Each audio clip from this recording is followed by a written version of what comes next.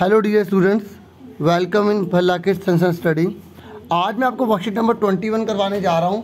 ये class six की mathematics से रिलेटेड रहेगी, जो सिक्सटीन सितंबर की, यानी कि थर्सडे की वर्कशीट है। ठीक है?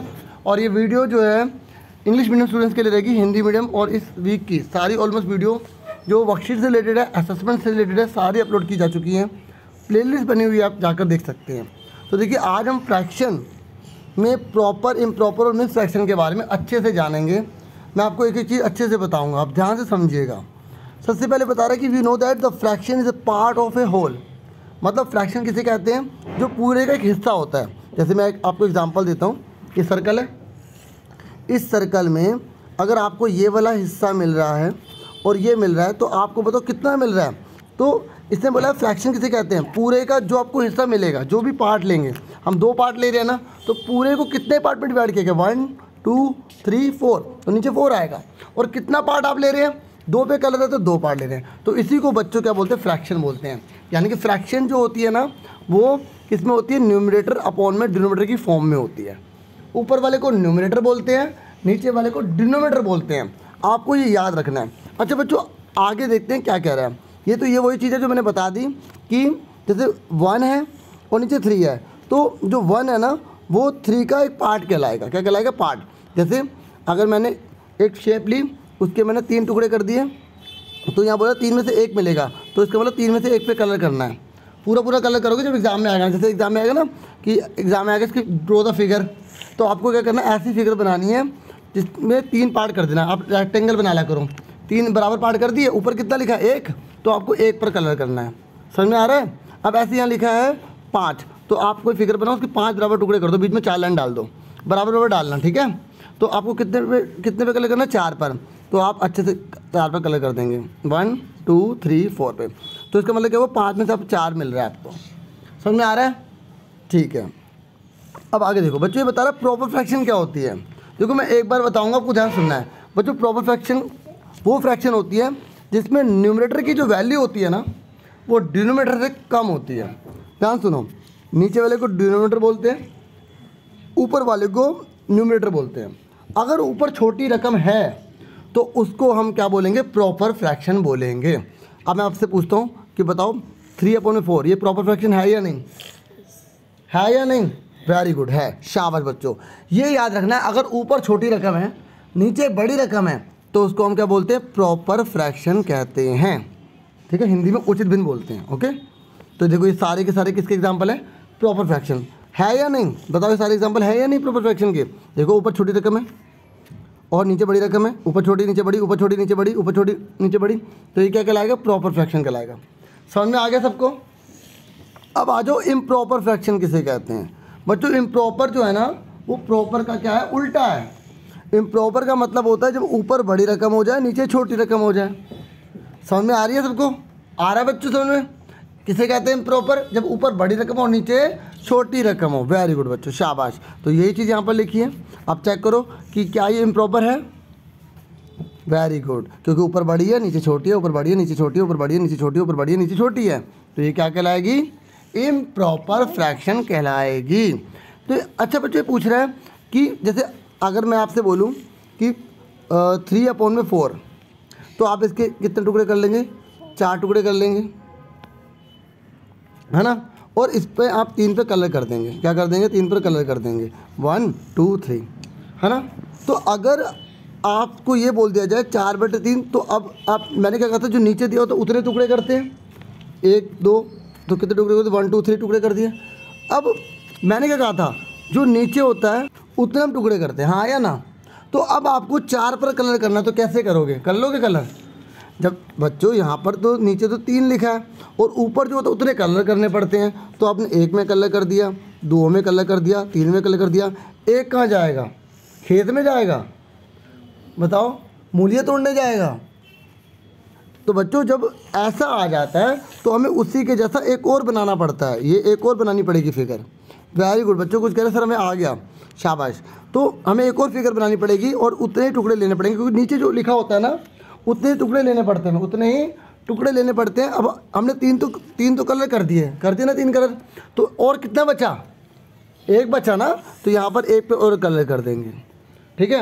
अब देखो, ऐसे सोचने लगे तो हमें टाइम लग जाएगा। तो इसलिए हम क्या सीखते हैं? मिक्स फ्रैक्शन सीखते हैं। ये भी चीज़ समझ में आ गई ना? मैंने ये भी समझा दिया। ठीक है? आओ, अब हम मिक्स फ्रैक्शन करें। ठीक है? यहाँ पर तो ये बताया गया कि हम क्या ये कर सकते हैं कि 11 पार्ट कर दे छः में से पाँच पार्ट कर दे, तीन में से। ठीक है? तो मैंने आपको बताया ना, फिर कैसे करना पड़ता है? एक अलग नया फिगर बनानी पड़ती है। जब ऊपर बड़ी रकम आ जाती है ना तो हमें उस और फिगर बनानी पड़ती है जब तक वो भर नहीं जाते, है ना? चलो।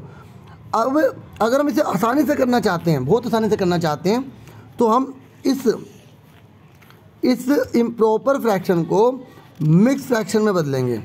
बच्चों, पता है मिक्स फ्रैक्शन किसे कहते हैं? अब मिक्स फ्रैक्शन सुन लो किसे कहते हैं। अगर ऊपर बड़ी रकम है, ऊपर बड़ी रकम है, नीचे छोटी रकम है तो हम इसको पहले डिवाइड करेंगे। जो ऊपर होता है वो अंदर आता है ना बच्चों, सबको पता है ना डिवाइड में? और जो नीचे होता है वो बाहर आता है, पता है ना सबको? तो अब डिवाइड करो सेवन वन जा सेवन तो बच्चों, अब इसका आंसर आप ये लिखोगे। इसका आंसर लिखोगे लाइन डाल के। सेवन का तो नीचे सेवन ही आ जाता है। ये जो चीज़ होती है ना यहीं पे सेम आ जाती है। सुन रहे मेरी बात? और ये जो होता है ना, ये ये रिमाइंडर ये ऊपर चला जाता है। और ये वाली जो चीज़ होती है, ये लेफ़्ट में आ जाती है। तो अब हमें फिगर बनाना आसान हो जाएगी। क्या बनाना आसान हो फिगर हम क्या करेंगे?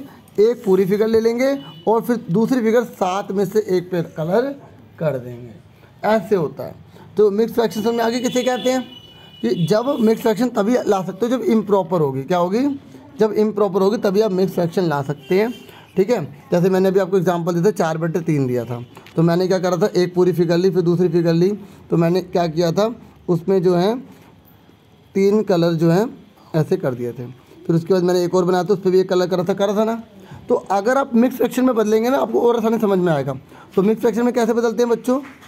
मिक्स सेक्शन बदलने के लिए जो चार है अंदर आएगा, तीन बाहर आएगा तो four one three one three नीचे वन तो इसका आंसर कितना आ गया? थ्री का थ्री लिखेंगे। ये वाला वन जो है, यहाँ आ जाएगा, और ये वाला वन ऊपर चला जाएगा। तो ये आ गया ना? आ गया ना? तो अब आप देखो, यहाँ पर जो है ना, यहाँ पर ये वन पूरा है ना? तो इसका मतलब एक जो एक पहली फिगर बनाओगे उस पर पूरे पे कलर करना है। हमने पूरे पे करा था ना? और ये करें जब दूसरी फिगर बनाओगे तो तीन में से एक पे कलर करना है। तो हमने तीन में से एक पे तो कलर करा है। तो बच्चों मिक्स फ्रैक्शन जो होती है ना, वो कलर करने में हेल्प कर देती है। और ये बता देती है कि एक पूरी चीज़ मिलेगी और जो दूसरी होगी, उस तीन में से एक हिस्सा मिलेगा। तीन में से एक हिस्सा मिलेगा। समझ में आ गया? अब देखो ये कह रहा है, अब हम एक नई चीज़ सीखने जा रहे हैं, ठीक है? हालाँकि मैंने अभी आपको करवा दिया है कि मिक्स फ्रैक्शन को इम्प्रॉपर में कैसे बदलते हैं, ठीक है? तो देखो, अभी तक बच्चों आपने क्या सीखा? मैंने आपको सिखाया चार बटे तीन है। इसको इससे भाग करोगे तो ये आंसर आएगा। आएगा ना? अभी कराया था ना मैंने? तो बच्चों, आप बताओ मुझे कि क्या आप इसको इसमें बदल सकते हो? क्या आप इसको इसमें बदल सकते हो? हाँ बदल सकते हैं। पता है कैसे बदलोगे आप? इसको इससे मल्टीप्लाई कर दोगे। और ऊपर वाला आप ऐड कर दोगे डी स्टूडेंट्स क्या कर दोगे? ऐड कर दोगे। ठीक है? तो देखो थ्री वन जा थ्री और वन कितना हो गया? फोर आ गया ना सेम आंसर देखो, अब मैं आपको करवाने जा रहा हूँ क्वेश्चन देखो, जिन बच्चों को केवल आंसर चाहिए ना, ठीक है? तो वो, ये तो यहाँ से नोट कर लें, इसका आंसर मैंने एक अलग शीट पे करा हुआ है। ठीक है? और इसका भी करा हुआ है, लेकिन मैंने क्वेश्चन नहीं लिखा। क्वेश्चन आपको यहाँ से नोट करना है। और बाकी जो बच्चे समझ रहे हैं, वो आंसर मेरे को खुद बताएँगे और जिनको आंसर चाहिए, वो थोड़ा वीडियो को आगे करके देख लें, ठीक है? चलो, अब फटाफट मुझे प्यारे बच्चों, आपको आंसर बताना है। इसने बोला है कि पता लगाइए, बाकी, कि इनमें से कौन कौन प्रॉपर फ्रैक्शन है और उस पर सर्कल डालना है। क्या डालना है? सर्कल डालना है। तो डी स्टूडेंट्स आप जल्दी से मुझे फटाफट बता दीजिए कि क्या ये प्रॉपर फ्रैक्शन है? वेरी गुड शाबाश। क्यों है? क्योंकि जब ऊपर छोटी रकम होती है, नीचे बड़ी रकम होती है, उसको प्रॉपर फ्रैक्शन कहते हैं। अब बताओ क्या नेक्स्ट आठ बटे तीन है? एट बाय थ्री है? नहीं है। शाबाश। सिक्स बाय सेवन है? वेरी गुड तो प्रॉपर फ्रैक्शन सबको समझ में आ गई? हम उसी को बोलेंगे, जब क्या हो, ऊपर छोटी और नीचे बड़ी रकम हो। क्या ग्यारह बटे तीन है? नहीं है। फोर बाय नाइन है? वेरी गुड उसके बाद फाइव बाय फोर है? नहीं है। Two and eight by five है? नहीं है। और नाइन बाई एट है? नहीं है। सिक्स बाई इलेवन है? यस वेरी गुड तो बस आपको कॉपी पर क्या करना है? लेट प्रैक्टिस लिखनी है। ये लिखना है। उसके बाद ये क्वेश्चन नोट करना है। फिर ये सारा लिख के सर्कल मार देना है। ठीक है? सिर्फ़ चार पे सर्कल लगेगा। प्रॉपर समझ में आ गया? पहला क्वेश्चन समझ में आ गया?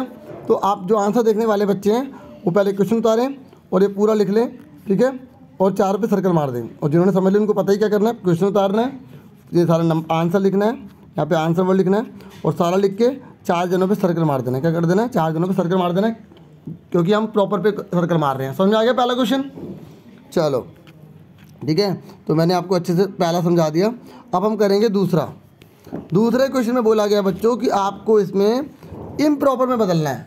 तो मैंने आपको क्या सिखाया था इम्प्रॉपर में? अब इसका आंसर भी दिखाता हूँ, ठीक है? शीट पे क्या हुआ है, ठीक है? लेकिन आप, मुझे पूरा विश्वास है कि जो अच्छे से वीडियो सुन रहे हैं वो आंसर खुद बता देंगे। जल्दी बताओ इसका आंसर क्या आएगा इसको मल्टीप्लाई करके ए ऐड करेंगे, है ना? तो seven three twenty one twenty one और सिक्स कितने होते हैं? ट्वेंटी सेवन अपॉन में सेवन आएगा। ऐसे ही आप ये बताइए कितना आएगा? नाइन वन या नाइन और टू कितना तो इलेवन बाई नाइन आ जाएगा। समझ में आ गया इसका आंसर? अब एक बार आंसर देख लो, कैसे लिखना है। क्वेश्चन यहीं से नोट करना क्वेश्चन मैंने नहीं लिखा। ठीक है? क्वेश्चन यहाँ से लिखेंगे, फिर ये दोनों नंबर डाल के फिर इसके आंसर लिखेंगे, ठीक है? समझ में आ रहा है? चलो, आंसर देखो एक बार। देखिए मैंने अभी आपको पहला तो बता दिया क्वेश्चन आपको कहाँ से उतारना है? वर्कशीट से उतारना है। ठीक है, अभी दिखाया था और फिर आप यहाँ पे आंसर लिखेंगे, ठीक है, और ये सारे के सारे लिख देंगे। ठीक है आपको सर, ये वाइट वाइट क्या कर रखा है? ये मैंने हिंदी में क्वेश्चन लिखा था तो आप इंग्लिश मीडियम में तो इंग्लिश मीडियम में आप शीट से उतार लेंगे, ठीक है? और ये आपको आंसर मैंने उसमें भी समझा दिया था, इसमें भी बता दिया। आप सेकंड क्वेश्चन देखिए, ठीक है, उसका आंसर देखिए। सेकंड क्वेश्चन भी आप कहाँ से उतारेंगे? वर्कशीट से उतार लेंगे। उतार लोगे ना? एक बार दोबारा दिखा देता हूँ। देखिए सेकंड क्वेश्चन आप यहाँ से उतार लीजिएगा, ठीक है? अब उसके बाद आंसर देखिए इसका। तो लिखने का तरीका आपको ऐसे लिखना है पूरा। ठीक है? समझ में आ गया आप सबको? कैसे करना है? इसकी मल्टीप्लाई करके ये आपको ऐड कर देना है। मल्टीप्लाई करके ऐड कर देना है। समझ में आ गया सबको? तो डियर स्टूडेंट फिर मिलेंगे आपसे नेक्स्ट वीडियो में। होप ये वीडियो आपके लिए काफ़ी वैल्यूबल रही होगी, आपको समझ में आई होगी। और प्लीज़ चैनल को सब्सक्राइब लाइक जो भी आपसे हो सके शेयर आप कर सकते हैं। आपसे फिर मिलेंगे नेक्स्ट वीडियो में। बाय बच्चों, अपना पूरा पूरा ध्यान रखना। Thank you for watching and listening carefully take care your साल डियर स्टूडेंट्स